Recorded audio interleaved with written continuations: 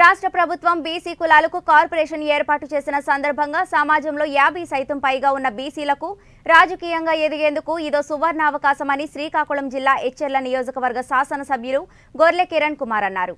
రణస్థలం మండలంలోని Etcherla MLA camp కార్యాలయంలో ఆయన నియోజకవర్గానికి చెందిన ఎనిమిది మంది రాష్ట్ర బీసీ డైరెక్టర్లను ఆయన ఘనంగా సత్కరించారు. అనంతరం దివంగత ముఖ్యమంత్రి వైఎస్ రాజశేఖర రెడ్డి విగ్రహానికి జ్యోతిరా పూలే విగ్రహానికి పూలమాలలు వేసి నివాళులర్పించారు.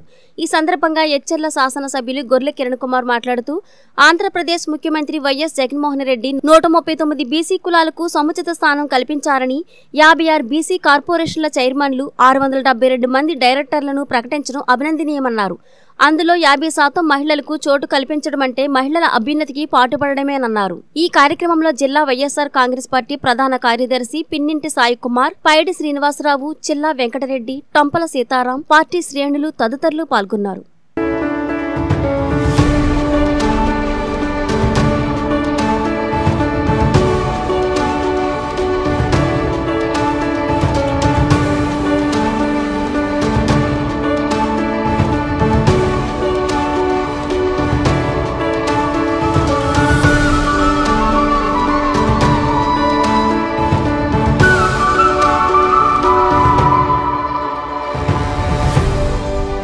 ఈరోజు ముందుగా ముఖ్యంగా మన ఆంధ్ర రాష్ట్రంలో యాభై ఆరు కార్పొరేషన్లకి డైరెక్టర్లకి పదవులను అందించి ప్రతి కష్టపడిన కార్యకర్తకు కూడా ఒక ప్రాముఖ్యతనిచ్చి వాళ్ళు గుర్తించి ఈరోజు గ్రామాల్లో వాళ్ళకి ఒక గుర్తింపునని ఇచ్చిన నాయకుడు మన ముఖ్యమంత్రి జగన్మోహన్ రెడ్డి గారు.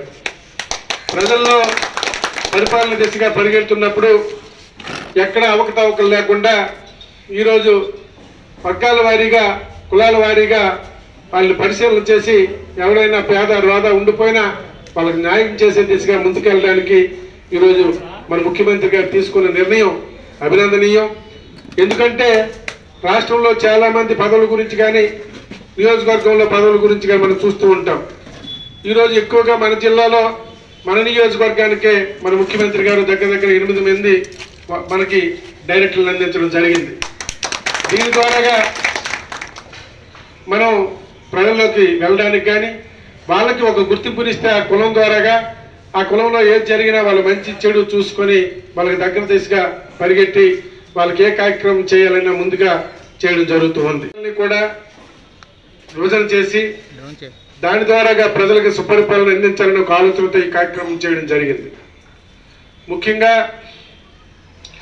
ఈరోజు ప్రభుత్వం చేస్తున్న ప్రతి ఒక్క కార్యక్రమం ఆ కార్యక్రమాన్ని ప్రజలకి వెళ్తున్నాయా లేదా?